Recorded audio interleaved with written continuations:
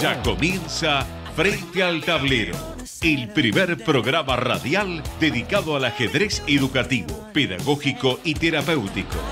Un espacio donde el protagonista será el milenario juego. Historias, anécdotas, información y entrevistas con concursos e invitados. Y todo lo que te puedas imaginar con el ajedrez. Frente al Tablero, conducido por Carlos Hilardo. Auspician frente al tablero Twin International, OSPAT, la obra social del personal de la actividad del Turf, Club Obras, Ajedrez Azerbaiyán, Agencia de Viajes y Turismo OATD, Cooperativa Agumín de Bragado, Club Argentino de Ajedrez, Revista Española Peón de Rey, Restaurante Dobartec en San Telmo, sitio ajedrez21.com, la tienda del ajedrecista y Ruibal, juegos para la familia.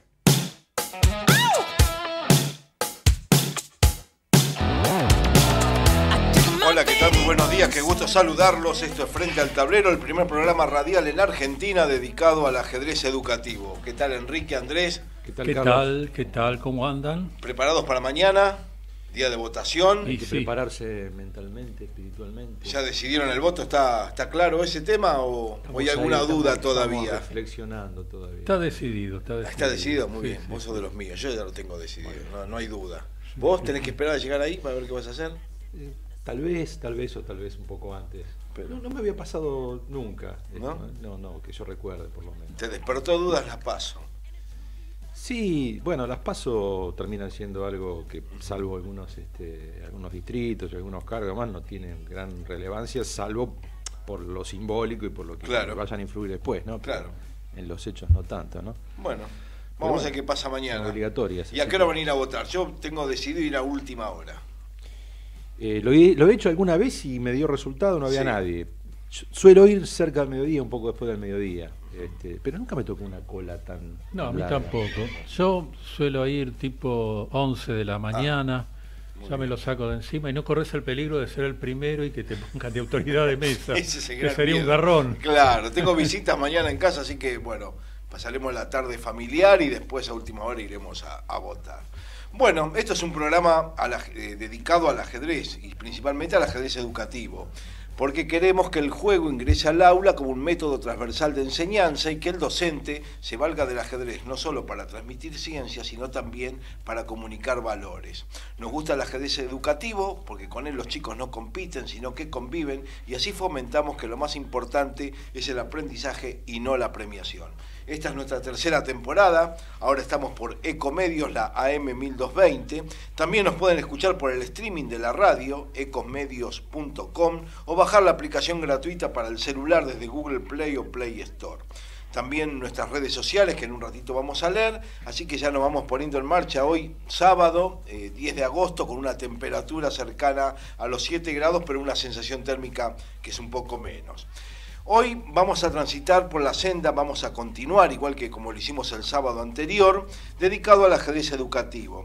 Vamos a conocer cómo se trabaja con el ajedrez en las escuelas, pero en esta ocasión será la provincia de Córdoba. El sábado anterior habíamos ido hasta Salta, habíamos hablado con Matías Ezequiel Núñez, y hoy vamos a charlar con una profesora de educación física, que es la referente de, esta área del ajedrez educativo en Córdoba. Su nombre es María Alejandra Cowley.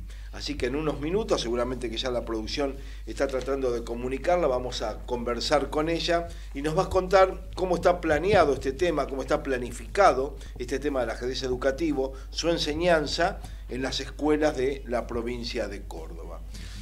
Otro alto en la huella del programa va a ser que nuestro amigo Enrique Arguiñanís nos preparó un temita dedicado a los campeones del mundo. Vamos a hablar de Manuel Lasker, el segundo campeón mundial oficial.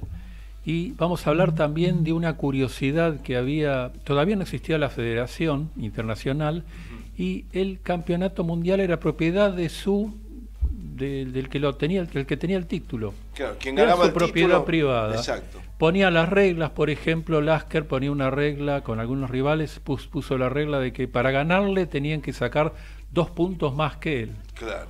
Era una cosa muy curiosa, pero era así la realidad Bueno, en esa, esa es la realidad. ¿Y vos, Andrés, tu efemérides por dónde va a girar? Bueno, nosotros siempre tenemos, nos salimos un poco del, del- del mundo del ajedrez, pero no del todo. Después volvemos con, con algún recordatorio. En este caso es un gran actor, del cual este, se cumplen ahora años de su trágica desaparición, que es Robin Williams. Ajá, bueno, y algún. Y que vamos a ver que el hombre ha jugado al ajedrez y se lo puede ver jugando al ajedrez. Muy bien, muy bien. Si tenemos tiempo, yo quiero hacer un breve comentario porque hoy es aniversario del nacimiento, del natalicio de Frank Marshall, un gran jugador, un ajedrecista norteamericano, que bueno, estaría cumpliendo un día como hoy 142 años. Hola. Así que bueno, este, menos mal que Si no se hubiera muerto, lo tendríamos con nosotros. aquí Las cosas que diría. Javier lo estaría conectando y lo podríamos estar contando algunas historias de, de comienzos del siglo XX.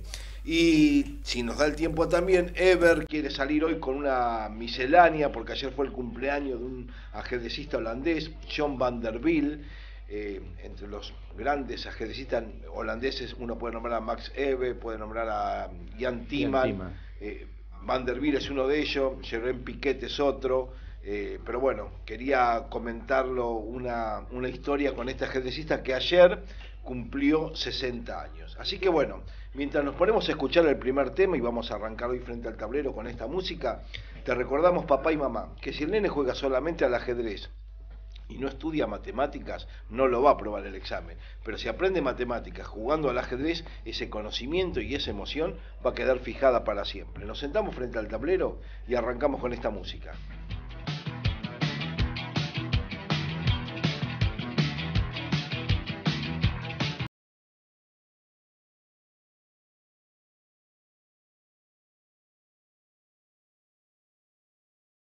Quiere salir hoy con una miscelánea, porque ayer fue el cumpleaños de un ajedrecista holandés, John van der Biel. Eh, entre los grandes ajedrecistas holandeses, uno puede nombrar a Max Ebe, puede nombrar a Jan. Timman. Eh, Van der Biel es uno de ellos, Jerome Piquet es otro. Eh, pero bueno, quería comentarlo una, historia con este ajedrecista que ayer cumplió 60 años. Así que bueno, mientras nos ponemos a escuchar el primer tema y vamos a arrancar hoy frente al tablero con esta música, te recordamos papá y mamá que si el nene juega solamente al ajedrez y no estudia matemáticas, no lo va a aprobar el examen. Pero si aprende matemáticas jugando al ajedrez, ese conocimiento y esa emoción va a quedar fijada para siempre. Nos sentamos frente al tablero y arrancamos con esta música.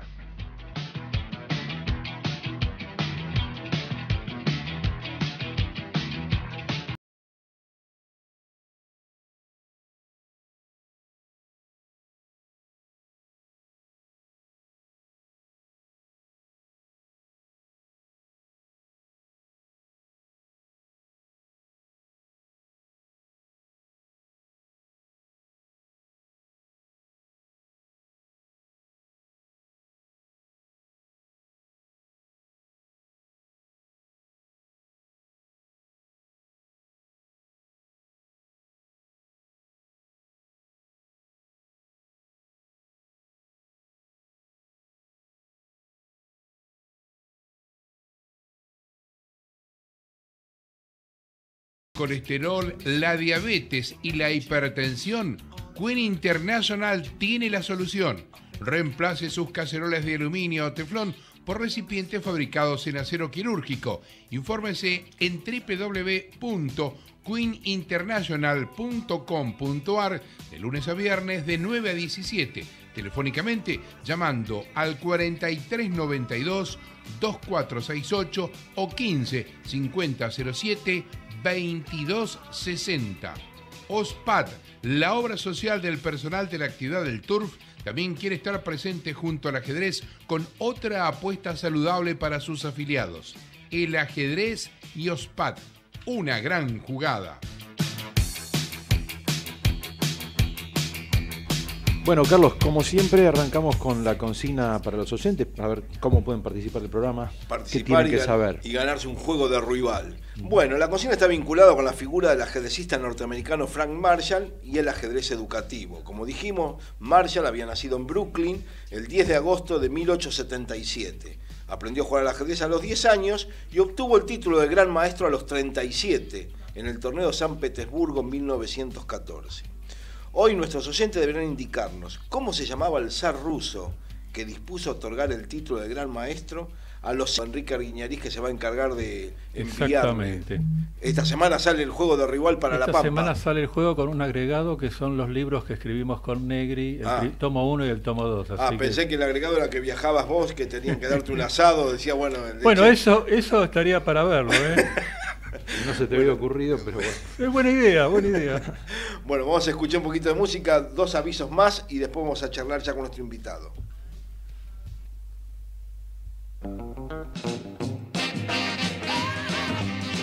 Si te gusta el ajedrez, prendete a Ecomedios AM 1220. Los sábados de 10 a 11. Frente al tablero. Junto a Carlos Hilardo te contamos grandes historias. Si querés aprender a jugar al ajedrez y estudiar con los mejores, inscribite en la Escuela Deportiva de Ajedrez del Club Obras. Clases en nivel básico, intermedio y avanzado. Instituto Obras Educativo, Avenida del Libertador 7395. Informes al 52 93 6100. Azerbaiyán, la tierra del fuego junto al ajedrez. Más de 15 siglos en los que el milenario juego forma parte de la cultura y costumbres de esa sociedad. Azerbaiyán, cuna del ajedrez.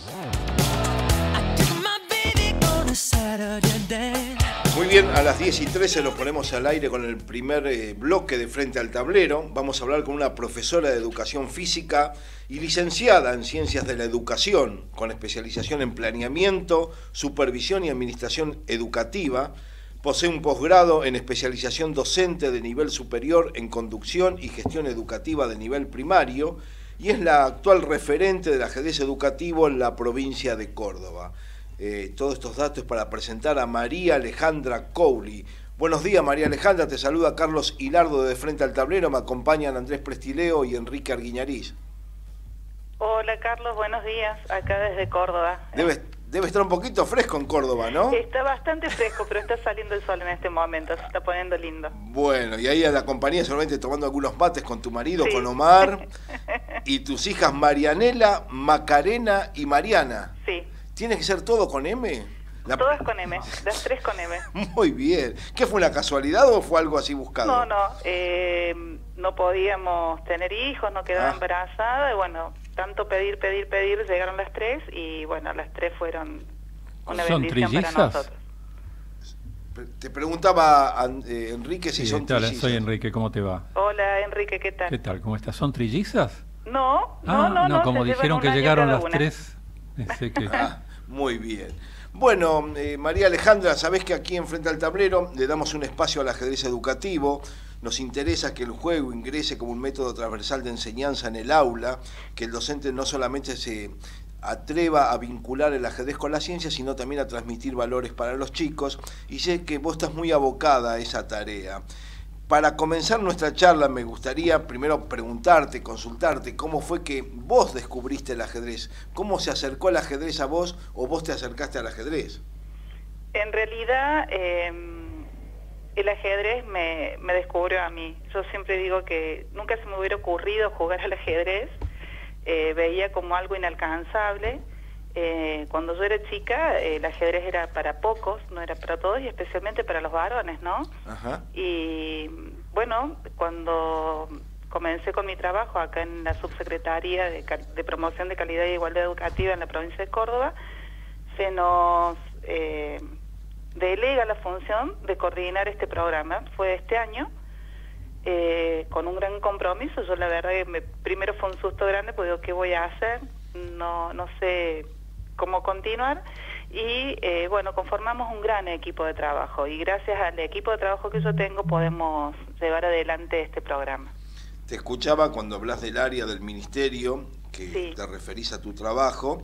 Vos creo que dependés del doctor Horacio Ferreira, que es el Sí. subsecretario de Promoción de Igualdad y Calidad Educativa del ministerio. Sí. Y cuando hablamos de tu equipo, por lo que pude averiguar y, y algunos intercambios de correo, eh, vos me contás que eh, trabajás con un equipo que está Karina Maciangelo y Luciano Cianca, que son responsables de la capacitación y asistencia técnica en las escuelas, y que desde 2019 colaboran en capacitaciones interdisciplinarias, un equipo de matemáticas, creo que ahí trabaja Daniela Chiapero, Nicolás Rosales, Susana Guerrero y Eder Pica. Bueno, y además creo que de la colaboración también de Guillermo Sope, Carlos Barrio Nuevo y Carlos Carranza. Me olvidé. Sí, también está dentro del equipo de matemática Hugo Alcaraz. Hugo Alcaraz. Que es otro profe que está especializado en todos los niveles. Bueno, cumplimos, hemos nombrado a todos, ¿no? bueno, ¿y cómo descubriste o cómo aprendiste a relacionar el ajedrez con las matemáticas y con la educación física? En realidad nosotros la propuesta desde el Ministerio de Educación está centrado en el desarrollo de las capacidades fundamentales. Dentro de las capacidades fundamentales está el pensamiento crítico, el desarrollo del pensamiento crítico y creativo y el abordaje de situaciones problemáticas, ¿no? Eh, cuando nosotros vemos el ajedrez eh, como juego, como ciencia, como arte, y dijimos, bueno, ¿por qué no?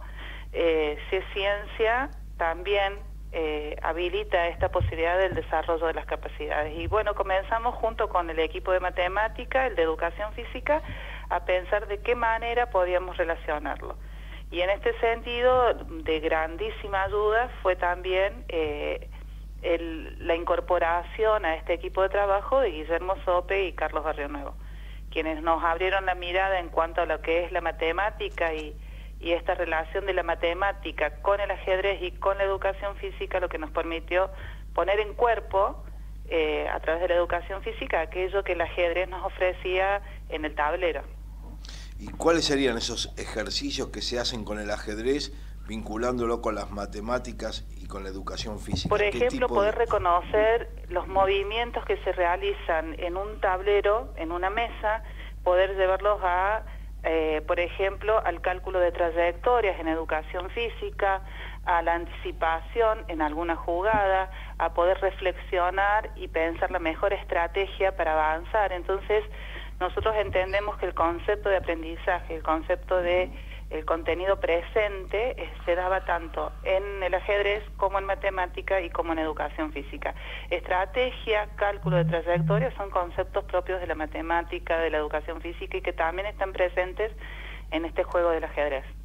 Pero tienen ejemplos como para dar, por, a ver... Sí, eh, por ejemplo, eh, teníamos un tablero gigante marcado en el, en el patio y poníamos personificábamos a los docentes eh, en diferentes espacios como si fueran las figuras propias del ajedrez.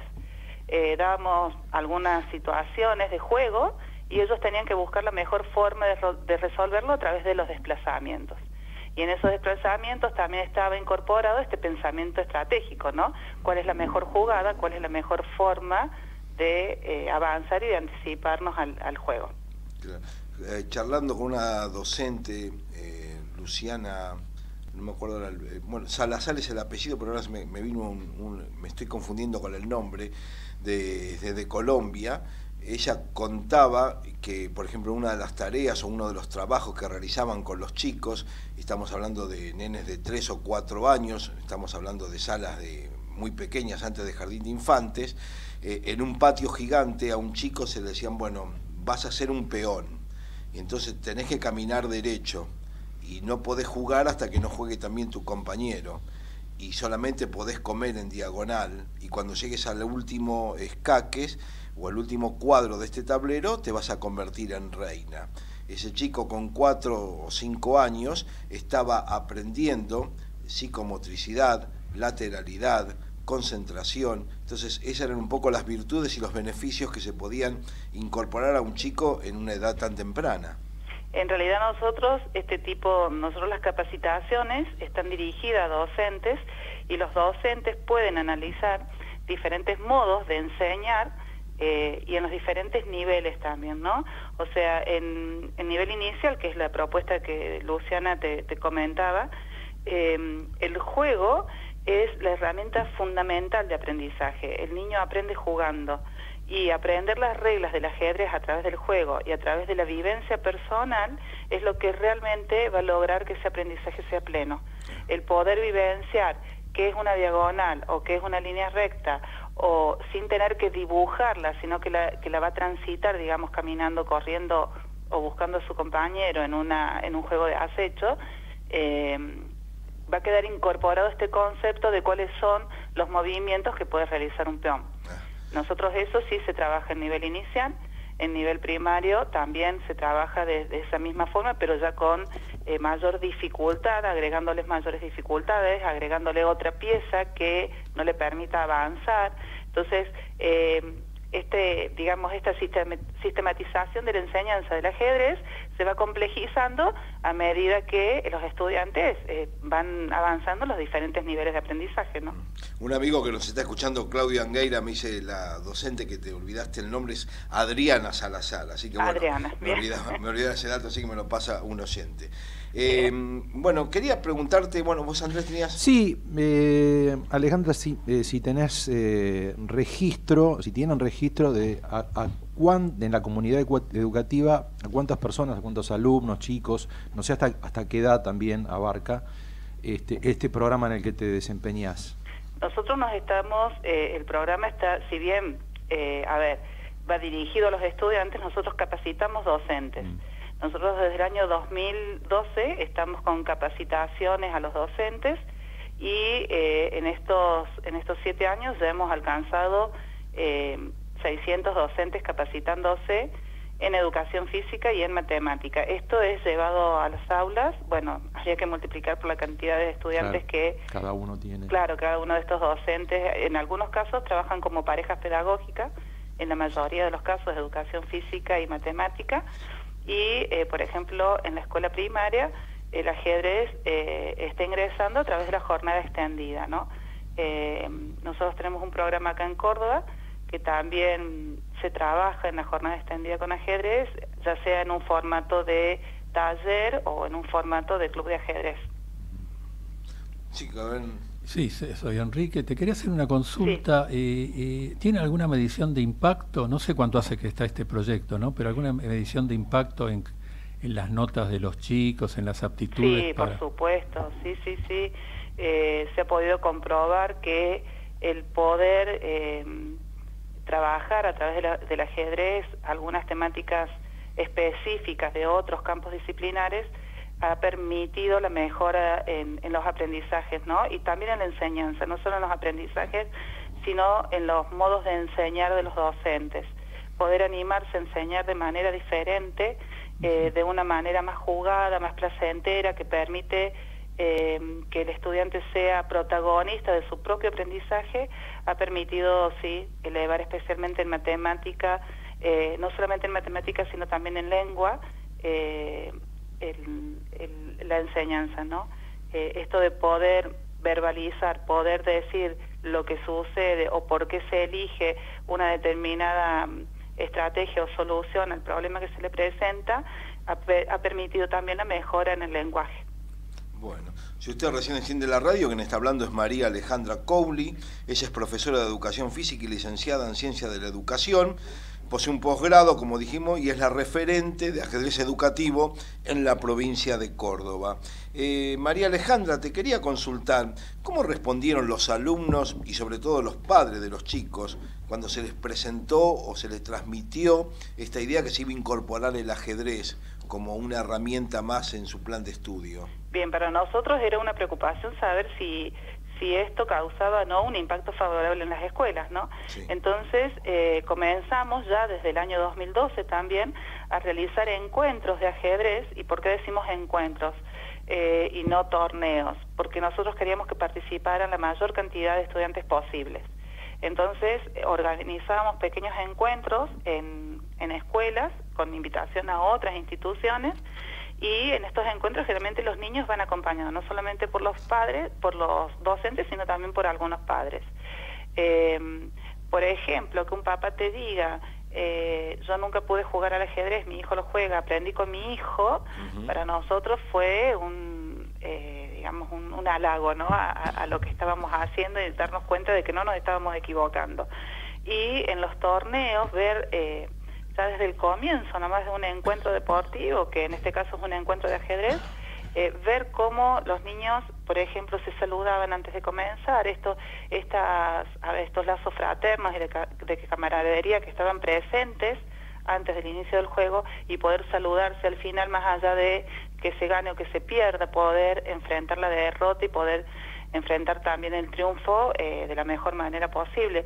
O sea, los chicos, el, el, diálogo con los chicos nos permitió ver que, bueno, íbamos por el camino correcto.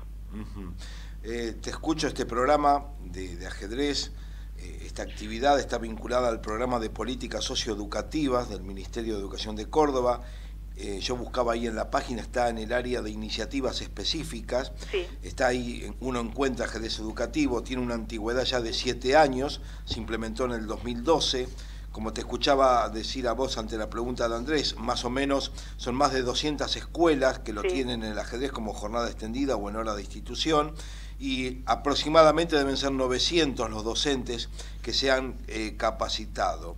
Eh, con este tiempo que llevas, porque vos en, realidad, si bien el programa tiene siete años, vos llevas un año al frente de esto, ¿no? Sí, llevo un año al frente, eh, sí estuve en el equipo de educación física, acompañando a otros referentes años anteriores, o sea, eh, si bien hace un año que estoy al frente, el conocimiento de este, de este programa sí lo tengo desde el año 2002.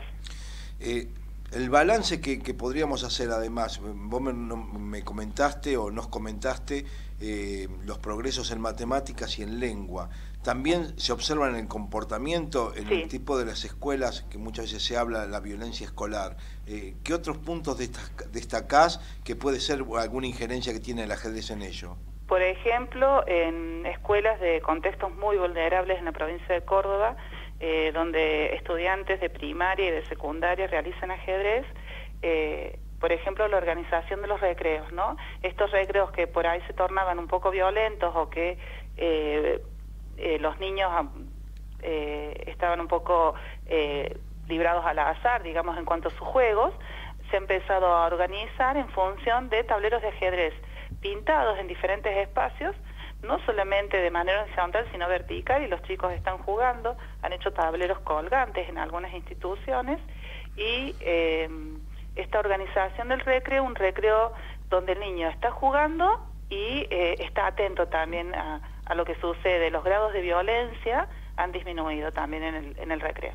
Yo te escuchaba en un video ahí sobre integrar saberes, que ahí estaba lo de educación física, matemáticas y ajedrez, vos algo comentabas, hacías un comentario ante el periodista o un colega que te decías, el ajedrez invita a pensar juntos, a socializarse, ¿no? a buscar otras formas de, resolver situaciones y que lo que ustedes procuraban también en la escuela era ofrecerles herramientas a sus alumnos eh, a través del ajedrez para tomar mejores decisiones. ¿Te parece que se logra eso?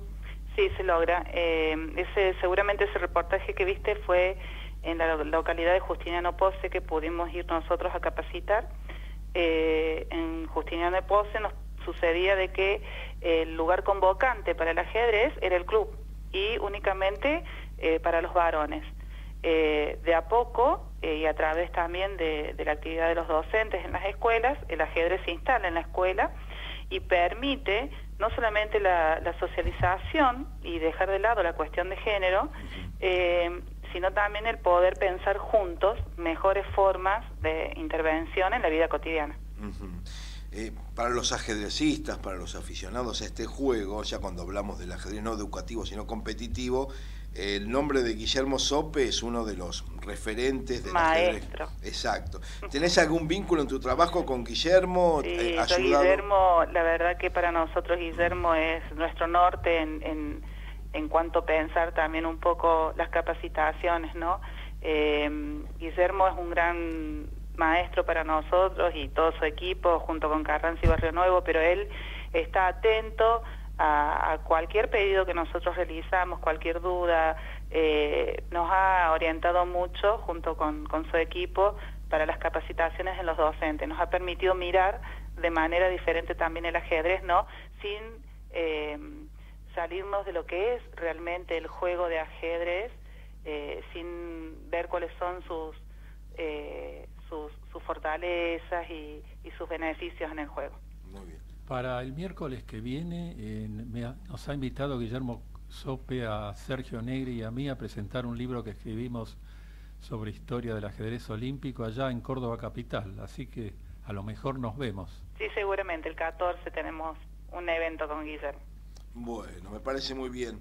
Este, María Alejandra, creo que igual quedan muchos temas, pero hoy por lo menos hicimos la primera jugada, ¿no? Hoy hicimos peón 4 rey, el primer movimiento y hemos puesto en presentación para nuestros oyentes de cómo se trabaja con el ajedrez en Córdoba. Lo hemos hecho ya con la provincia de Misiones a través de Ernie Boguel, con Salta, con este chico Núñez, eh, alguna vez con San Luis a través de Claudia Mura. Hoy le tocó el turno a Córdoba y ha sido un gusto conversar contigo y que más o menos nos pusiste en tema de cómo se está trabajando desde hace siete años, esto no es algo nuevo, pero bueno, ya están haciendo y están dejando las primeras bases de asentarle el ajedrez educativo como una nueva forma de enseñanza. Creo que esto de pensar juntos, que generalmente uno recita ¿no? en, las instituciones educativas, se ve plasmado en este programa específico donde agentes y actores de diferentes lugares, de una federación, de un ministerio, de una escuela, nos juntamos y empezamos a mirar juntos en beneficios de de los aprendizajes de nuestros niños y de nuestros jóvenes.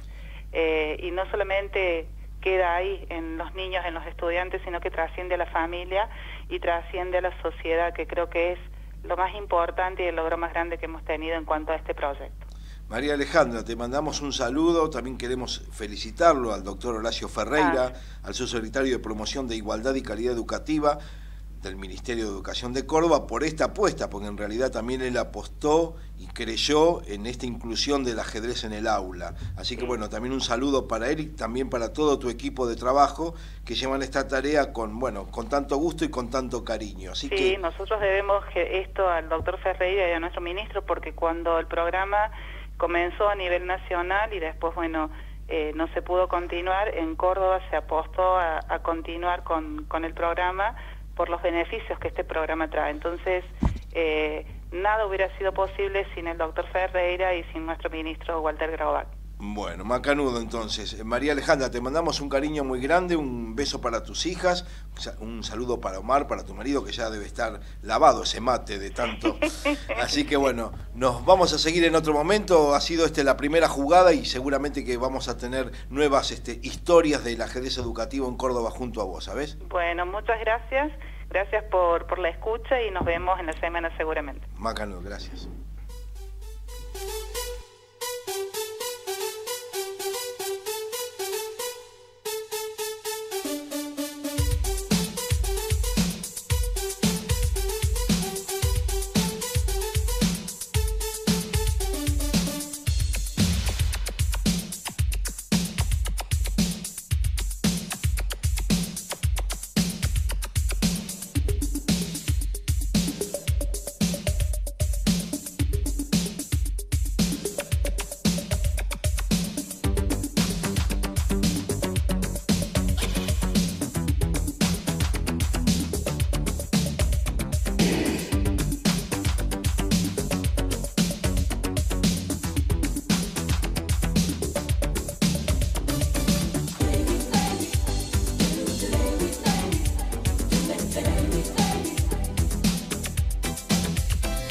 Viajes y Turismo OATD, pasajes y excursiones nacionales e internacionales, cruceros, paquetes turísticos, lo mejor de Europa, destinos exóticos, OATD, Viamonte 861, teléfono 4322-6915.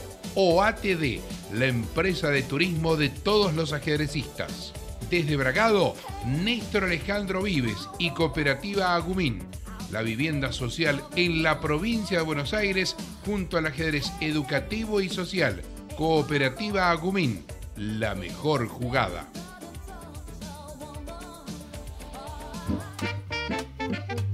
La mejor jugada está en Ecomedios, AM 1220.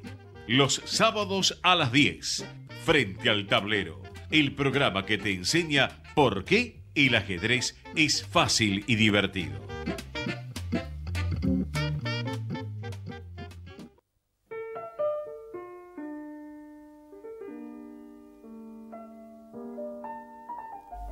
Y con esta cortina musical, el momento de Prestileo. Andrés Prestileo y la historia de Robin Williams y su vínculo con el ajedrez. Sí, eh, Robin Williams, que nació el 21 de junio de 1951 en Chicago, la ciudad de los vientos.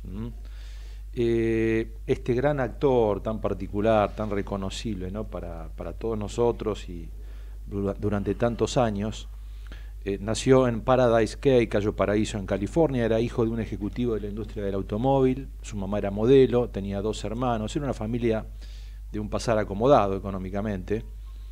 Eh, Robin no, no, se había interesado en la actuación hasta, hasta después de la adolescencia, incluso. Eh, este, estaba más interesado en los deportes y en su estudio. Eso le llegó a fines de la década del 60, cuando se fue introduciendo en el mundo del teatro. Y pasados unos años, en los que este, eh, se introdujo en la, televisión. Lo recordamos ya en su primer gran papel en, una, en esa comedia televisiva llamada Mork y Mindy, que empezó en el año 1978. y bueno, este éxito lo mantuvo durante algunos cuantos años, pero después, para evitar que lo encasillaran, este, bueno, trató de diversificar su carrera y se introdujo ya en la pantalla grande, ¿no? Hizo algunas películas que lo hicieron conocido en la industria, pero no, trascendieron tanto. Pero ya hacia fines de los 80, entre fines de los 80 y principios de los 90, llegaron tres de sus más grandes este, producciones, las actuaciones consagratorias, ¿no? papeles protagónicos, que fueron tres películas concretamente, Buenos días Vietnam, Pescador de Ilusiones y La Sociedad de los Poetas Muertos. Estuvo nominado para el Oscar en el papel protagónico en las tres películas, pero no lo sacó. Ese premio sí le llegó en 1997, no como actor principal, sino como actor de reparto, en una película que llamó En Busca del Destino, ¿eh? en la que estaba acompañado, por ejemplo, con Matt, por Matt Damon y Ben Affleck, entre otros. Y por supuesto, después ya con una carrera este, de, primer nivel, una figura del cine internacional destacada, llegaron otras producciones como Patch Adams, Jumanji, el hombre bicentenario, Una noche en el museo. Bueno, seguramente todos vimos alguna de ellas. Retratos de una obsesión, esa película tan este, sugerente en la que eh, personificaba a un empleado de una casa de fotografía, obsesionado con una familia, un solitario. Bueno, y ya que hablamos de la, de la producción cinematográfica de Robin Williams, aquí es donde podemos hacer un pequeño punto. El hombre sabía jugar al ajedrez, ¿eh? Y hoy, si uno lo quiere buscar en esa, en esa actividad, va a encontrar un video eh, del backstage, detrás de escena de una película que en, el año 2006 eh, dirigió Barry Levinson, se llamaba El hombre del año. este, ahí Robin Williams personificaba a un este, presentador con, con ambiciones políticas y, se puede ver eh, en detrás de escena en una cafetería jugando un partido de ajedrez con Christopher Walken, ese también tan personal actor. Este, y bueno, ahí está Robin haciendo sus morisquetas, mientras, sus morisquetas tan conocidas, mientras trata de jugar con piezas negras ¿eh? al ajedrez en esa cafetería. El 11 de agosto de 2004 fue encontrado muerto en su casa, se había quitado la vida en medio de, terribles padecimientos por una dura enfermedad neurológica solamente tenía 63 años. De esto mañana, 11 de agosto, se cumplen 5 años. Eh, sus cenizas fueron esparcidas en el Océano Pacífico. Y hoy, a 5 años de esta desaparición de este actor tan versátil y tan, tan particular y querido por todo el mundo, lo recordamos también como un ajedrecista. Bueno, este fue el momento y ahora seguimos con esta música enfrente al tablero.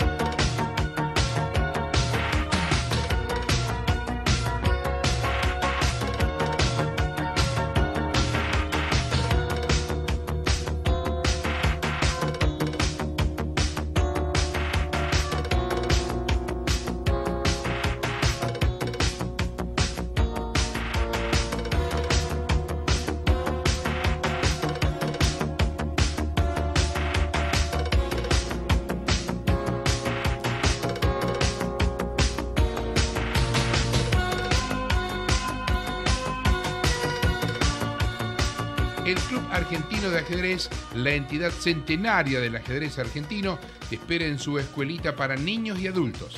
Estimula tu memoria y concentración. Aprende a planificar y a decidir.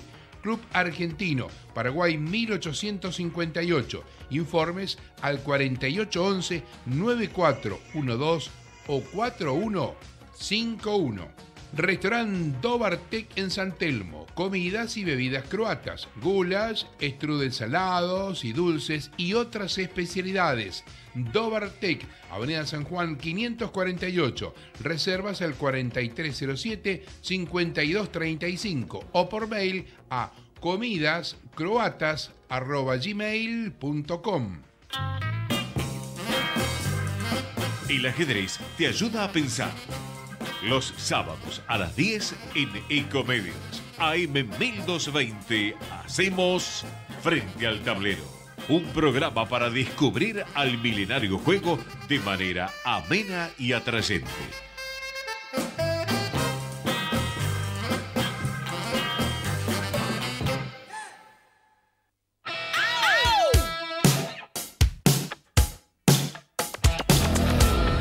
Bien, seguimos enfrente al tablero con el tercer bloque. Ahora era simplemente un recordatorio, un tributo a Frank James Marshall, que hoy hubiera cumplido 142 años, fantástico ajedrecista norteamericano. Había nacido el 10 de agosto de 1877 en Nueva York, pero entre los 8 y 19 años vivió en Montreal, Canadá.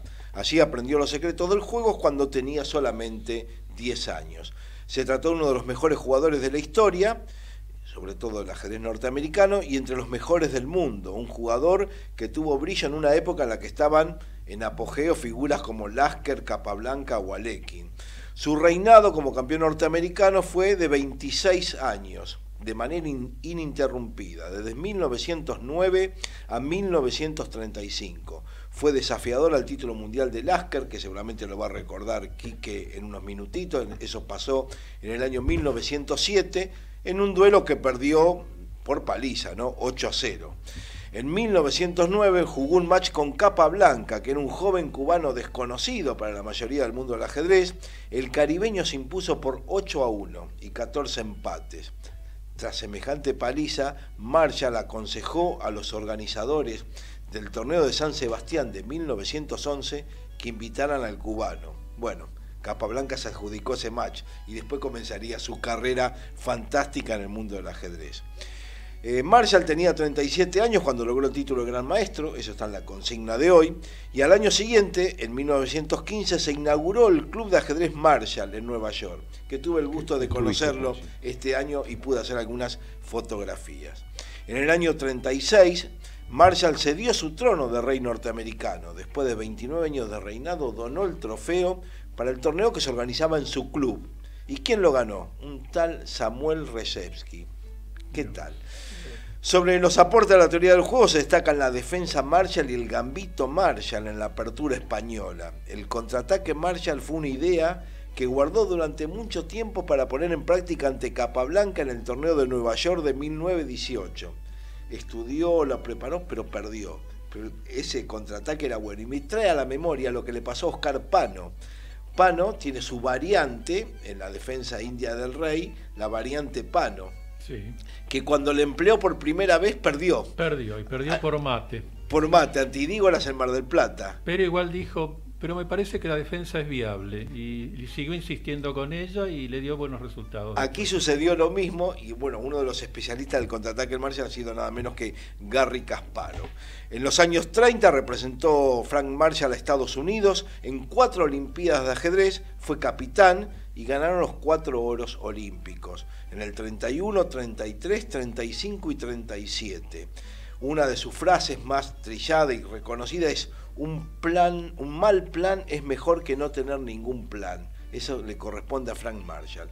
Murió en Nueva York el 9 de noviembre de 1944 y tenía tan solo 67 años y hoy lo recordamos enfrente al tablero.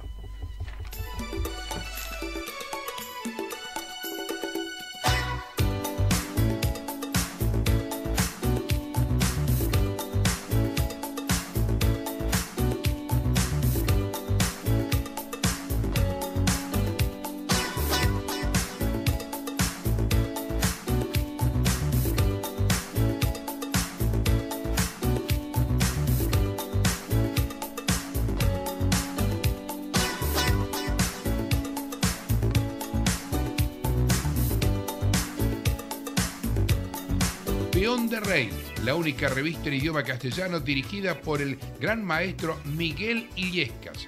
Peón de Rey, en papel y digital. Entra al sitio www.peonderrey.com y suscríbete ya. Peón de Rey, porque nos gusta el ajedrez. Sitio ajedrez21.com la mayor tienda online del mundo latino. 20 años al servicio de la comunidad ajedrecística. Libros en español e inglés, software, ebooks, cursos en videos, juegos, tableros y relojes. Más de 5.000 artículos, todo con el aval del gran maestro español Miguel Illescas. Suscríbete a Peón de Rey y a Internet Jazz Club. Entra a ajedrez21.com, tu tienda de ajedrez en la red.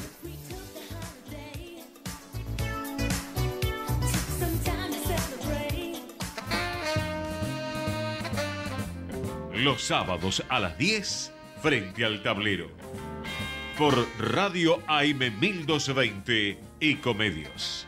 Una forma diferente para hablar de ajedrez.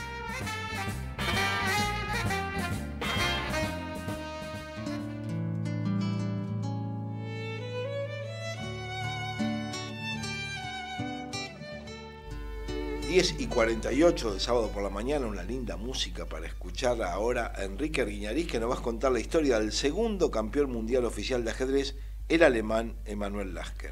Efectivamente, Emanuel Lasker nació en Bernich, en Alemania, en 1868. En su adolescencia se trasladó a Berlín para estudiar matemáticas.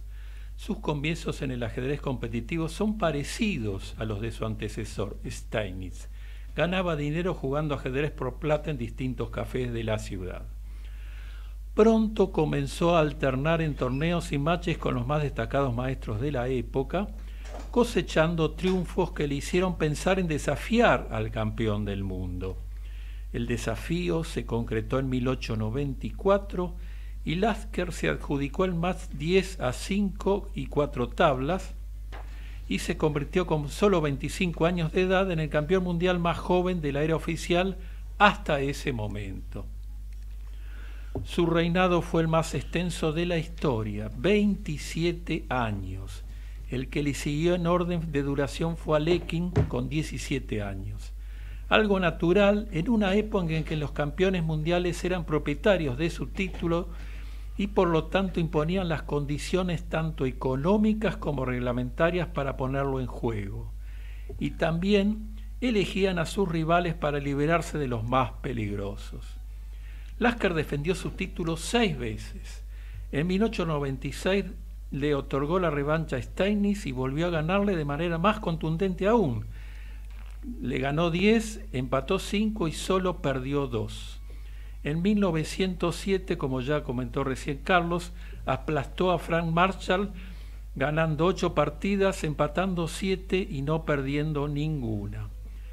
En 1908 vence a Siebert Tarrach ganándole ocho, empatando cinco y perdiendo tres, pero esto era muy importante para, para Emanuel Lasker porque se vengó de un rival que años atrás no había querido enfrentarlo por considerar que Lasker no tenía pergaminos suficientes.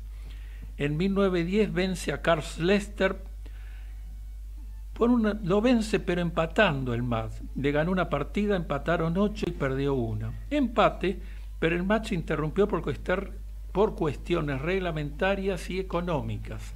Además, según las reglas impuestas por Lasker, el desafiante debía superar al campeón por al menos dos puntos. A fines de 1910 aplasta a David Janowski por ocho ganadas, tres tablas y ninguna perdida. Y finalmente, en 1921 acepta jugar con el cubano Capa Blanca, ante quien termina perdiendo el título. Como Lasker en ese entonces ya estaba con grandes apremios económicos, no impuso grandes condiciones. Ganaba el mejor de 24 partidas, yo no tenía que tener, ganarle dos de más, y hasta aceptó jugar en La Habana, porque había una bolsa muy interesante de 20 mil dólares. Notemos que entre la segunda defensa y la tercera transcurrieron 11 años y otro tanto entre la quinta y la sexta. Lasker no fue un ajedrecista con dedicación exclusiva, graduado en matemática y doctor en filosofía, se dedicó también al Go y al Bridge, y hasta fue amigo personal de Albert Einstein. Su legado se resume en esta frase. Una partida de ajedrez no es la lucha entre dos bandos, es la lucha entre dos personas. Lo que pasa es que Lasker era el iniciador del ajedrez psicológico. No solo estudiaba ajedrez, también estudiaba profundamente a cada rival, la personalidad de cada rival. Gran combinador y eximio, eximio jugador de finales, muchas veces dejaba de lado las jugadas objetivamente lógicas para decidirse por aquellas que más podían incomodar a cada rival en particular. Murió en Nueva York en enero de 1941 por rara coincidencia en el mismo hospital en el que un año después moriría su sucesor, José Raúl Capablanca. El hospital se llamaba Mont Sinai.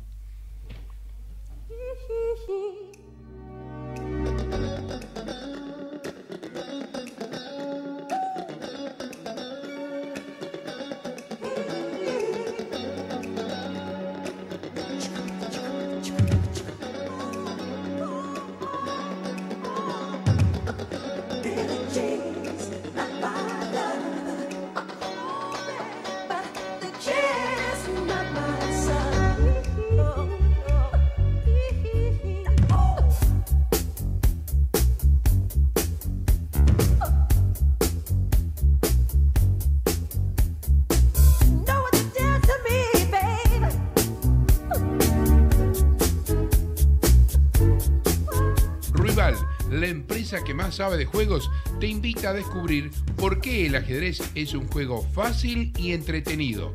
Jugá al ajedrez con Ruibal. Ruibal, juegos para la familia.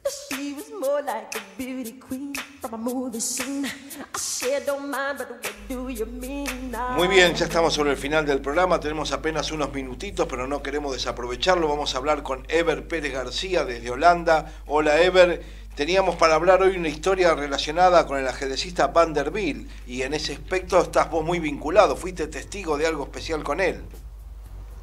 Eh, hola Carlos, hola amigos. Eh, sí, es así y, también es parte muy importante en la, en la carrera ajedrecística mía, porque justamente jugué al principio de mi llegada a Holanda fue en mayo de 1980, me tocó en un torneo fuerte abierto eh, en la ciudad de Castricum y yo salí segundo en ese torneo detrás del maestro Enkler que fue el ganador, pero le quité a Van der las chances de ganar el torneo, siendo él en ese momento el campeón juvenil de Europa y la gran promesa del ajedrez holandés que después lo confirmó. Le hice una brillante combinación que siempre la recuerda él con mucho cariño y me dijo, bueno, Heber, espero que algún día me des la revancha.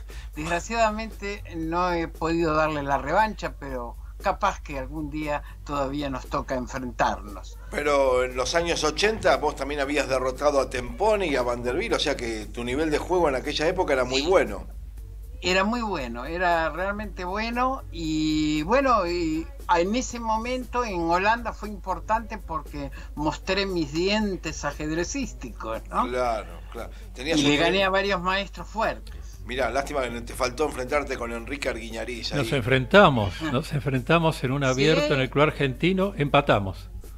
Ojo, ¿eh? empatamos. Sí, sí, Me dice Enrique que te dio tablas porque no te quiso ganar. ah, la, la. Me dijo. dije, bueno, quiero respetarlo en un, uruguayo que estaba en Buenos Aires y le ofrecí el empate, me dijo. Pero bueno, después vamos a definir. Va a haber revancha también para esa partida. No le diste a Vanderbilt, pero se la vas a dar a Enrique Erguiñari, ¿sabes? Enrique, sí, sí. Bueno, Ever, muchísimas gracias por tenernos este recuerdo con Vanderbilt y que bueno, te felicitamos por aquella victoria que lograste frente a unos de los mejores ajedrecistas de la historia de Holanda, ¿sabes? Sí, y además no solo eh, todo esto material, sino que con Vanderbilt nació una muy linda amistad, es un caballero nato y, y estoy orgulloso de contar con su amistad. Muy bien. Bueno, Ever, te mandamos un abrazo, un abrazo muy grande, un cariño a Julia. Un abrazo. Lo mismo para ustedes, un gran abrazo.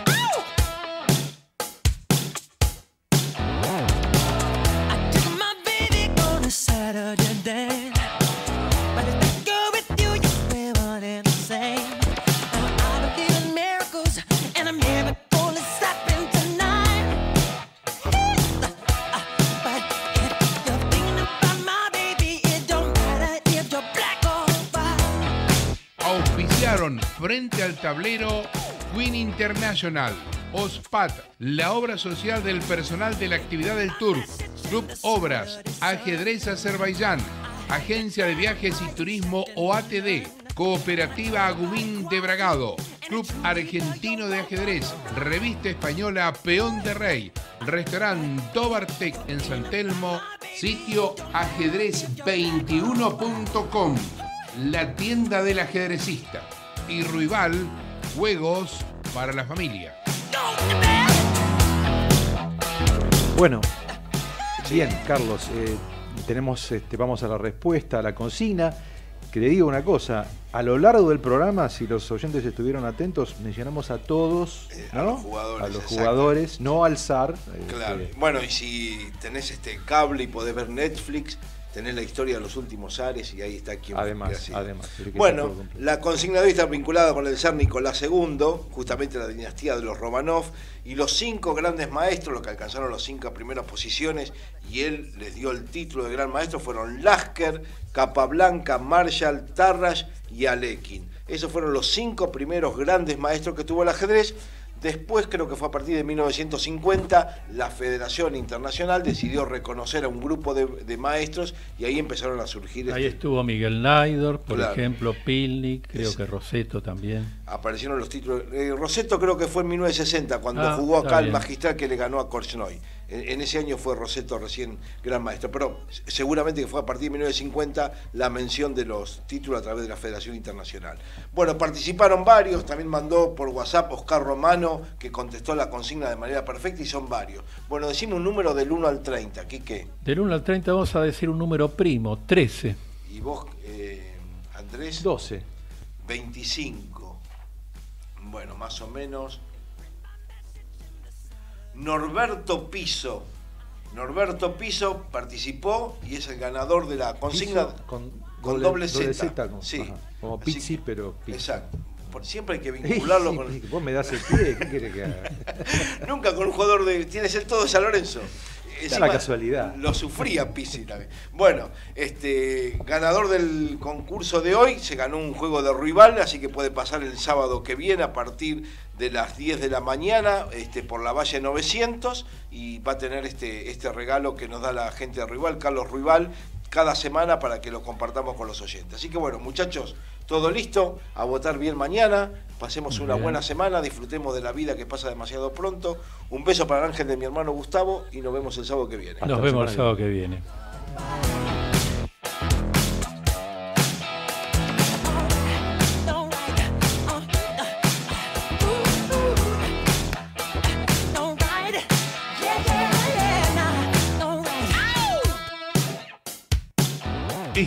Es el final de la partida. La seguimos en siete días. Frente al tablero con Carlos Hilardo. Todos los sábados a las 10 por Ecomedios AM 1220. Desde Buenos Aires, transmite LRI 224, AM 1220, Ecomedios